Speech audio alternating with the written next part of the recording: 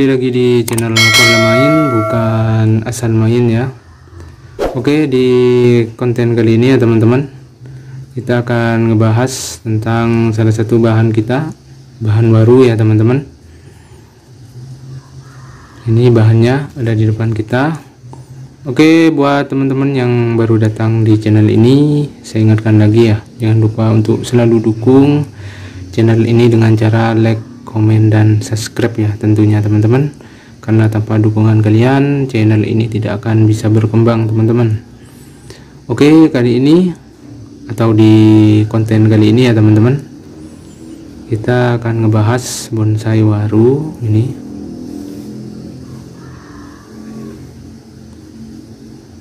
Ukuran mami ya teman-teman. Ini bahan waru lokal yang kita miliki adalah bahan baru lokal untuk bahan ini merupakan hasil cangkok ya ini. Ini hasil cangkok. Jadi kemarin kita sempat tanam setek ya bahan baru lokal. Kemudian setelah tumbuh kita pilih bahannya kita cangkok. Kemudian inilah hasilnya teman-teman untuk bahan ini merupakan apa ya konten pertama kalinya ya. Karena untuk bahan ini tidak pernah saya buatkan kontennya. Jadi ini bahannya udah mulai masuk ke tahap ini saja sudah anak cabang teman-teman. Cabang anak cabang ranting ini sudah. Ini masih tahap percabangan masih kita los. Ini cabang pertama cabang kedua belakang cabang ketiga di bagian kiri ini teman-teman. Dan ini untuk komposisi atasnya. Ini ya. Jadi untuk bahan ini setelah kita cangkok ya kemarin kemudian kita pecah batang ini kurang lebih berapa ini teman-teman? Satu sekitar satu dua tiga empat 5 7 7 pecahan teman-teman. 7 pecahan batang. Ini sudah bagus ya untuk akarnya tapi karena memang untuk bahan ini kemarin kita taruh di polybag taruh di polybag dan kita taruh di apa ya di tempat ground dan sempat juga tidak terurus ya teman-teman. Jadi ini adalah bahan yang pernah tidak kita urus. Kemudian kita lakukan penanganan kita pindahkan ke pot ya. Setelah di polybag kita pindahkan ke pot. Ini kita melakukan juga pengulangan akar terutama di bagian depan ini ya. Karena kemarin busuk teman-teman. Ini sudah ada akar penggantinya ini teman-teman bisa lihat tuh. Ini kalau tidak busuk seperti ini ya besar seperti ini. Karena busuk kita ulang lagi teman-teman. Untuk akarnya kita los juga akarnya ini. Untuk akar yang besar kita selalu press ya. Pada saat penggantian media atau pemotongan akar kita pasti press untuk yang besar ini jadi untuk bahan ini kemarin kurang lebih tiga bulan yang lalu kita juga melakukan proses uh, penggantian media dan sekaligus potong akar teman-teman. Setelah tiga bulan ini sangat subur sekali teman-teman. Ini ada akar yang mulai tumbuh ke atas. Ini. Ini kita tidak menggunakan talang ya untuk waru kita tidak menggunakan talang kita cuman melakukan pengarahan aja untuk akarnya teman-teman. Ini. Nah teman-teman bisa lihat ini bagian belakang ya. Ini pecahannya udah mulai nutup teman-teman. Pecahannya udah mulai nutup. Ini juga mulai nutup teman-teman. Untuk bagian belakangnya sudah mulai nutup ini akarnya. Pecahan batangnya ini sudah mulai nutup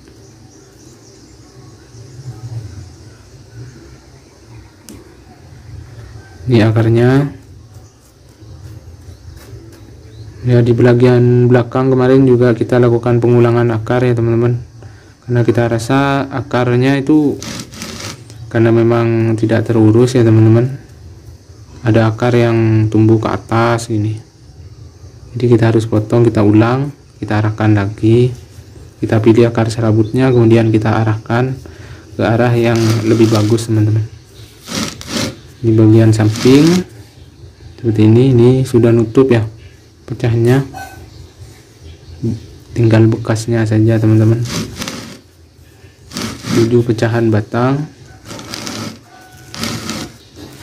Tinggal di bagian depan ini. Masih ada ruang teman-teman. Ini. Jadi dengan gaya informal ya teman-teman. Mungkin tingginya ini sekitar 15 sentian atau 17 senti ya nanti teman-teman. Tingginya mungkin segini cuman intinya hasil akhirnya mungkin segini. Masih kita proses teman-teman. Ini jadi untuk bahan ini kita lihat prosesnya ya. Dari cabang ini kita lakukan pemotongan kemudian kita mendapatkan anak cabangnya anak cabang ya anak cabang ini masih kita los teman-teman. Kita los ini. Ini sudah yang di bagian sini ini tahap ranting sudah teman-teman. Tahap ranting. Kendalanya untuk waru ya bahan waru itu di titik tumbuh ya teman-teman.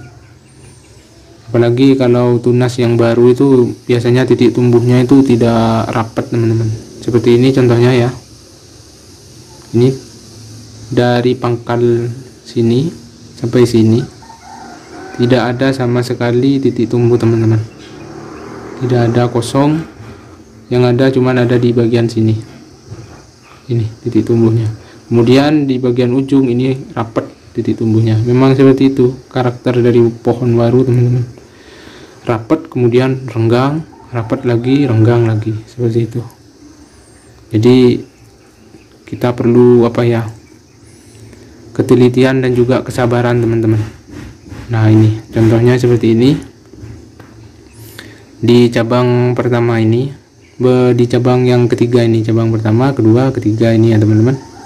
Ini tidak ada titik tumbuh sama sekali teman-teman. Baik di depan maupun di belakang. Dari pangkal cabang sampai sini ini yang titik tumbuh cuma ada di sini. Dan di sini ini rapat teman-teman makanya kita lakukan pemotongan kita ulang dengan tunas yang baru sebagai penerus cabangnya. Dan penerus cabang ini bisa dilihat ya teman-teman. Titik tumbuhnya sangat rapat. Ini titik tumbuhnya. Rapat teman-teman. Jadi titik tumbuh seperti ini yang kita perlukan teman-teman. Yang rapat.